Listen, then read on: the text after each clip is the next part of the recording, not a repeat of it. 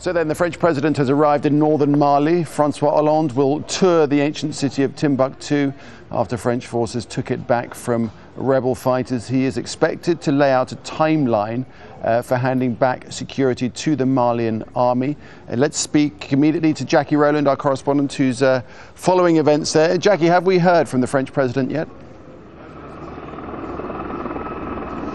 Yes, President Hollande has been doing a tour of the city of Timbuktu, accompanied by his defense minister and his foreign minister, and also by President Traore of Mali. They've been meeting local officials, seeing a few historic sites like the ancient library and the Grand Mosque. But above all, President Hollande has been meeting local people.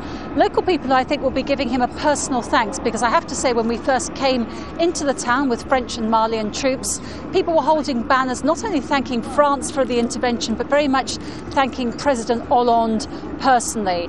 So for the president, it's a kind of victory parade, if you like, although it's still very early days before he could actually claim that the French intervention in Mali has been a complete success.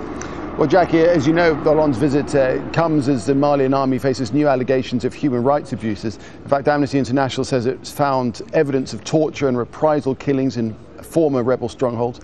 It says Malian troops have killed 24 civilians suspected of supporting the rebels. Uh, and witnesses, Jacky, say some members of the army have been carrying out arbitrary arrests. And this is something that Hollande will have to take on, Jacky, with uh, his Malian counterparts. Yes, and it's always been one of the concerns, uh, the extent to which uh, the ethnic black population might carry out reprisals against the Arab community, who've been widely accused of supporting and even helping those Al Qaeda linked rebels. Now, we've seen indiscriminate attacks, we've seen shops that have been trashed, we've personally met a couple of, of Arab families really hiding at home, um, depending on the kindness of ethnic black neighbours who've actually been sheltering them during this time. And that is something that the French and the Malian authorities are going to have to address. We've spoken to senior Malian army commanders who say that they have actually been going out and preventing reprisals. Uh, we found one case of a Malian army commander who had actually taken two Arab shopkeepers into the military base for their own protection. He said there was a danger that the mob was going to lynch them.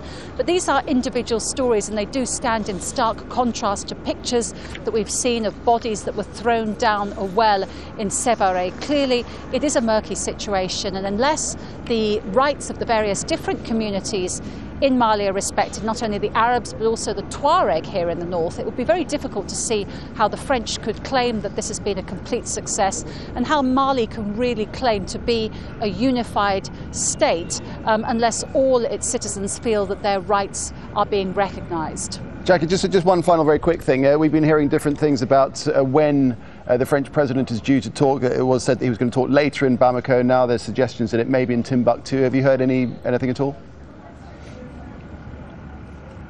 Well, we know that very soon he's going to talk to French troops. In fact, as we've been standing here at the airbase, we've seen um, platoons of troops marching past. They've all gathered in an area um, that you might be able to see in the very back of the shot. And it's not just French troops, but also Malian troops. Um, they are all standing around now and they are expecting the president to come and address them. This is not a press conference.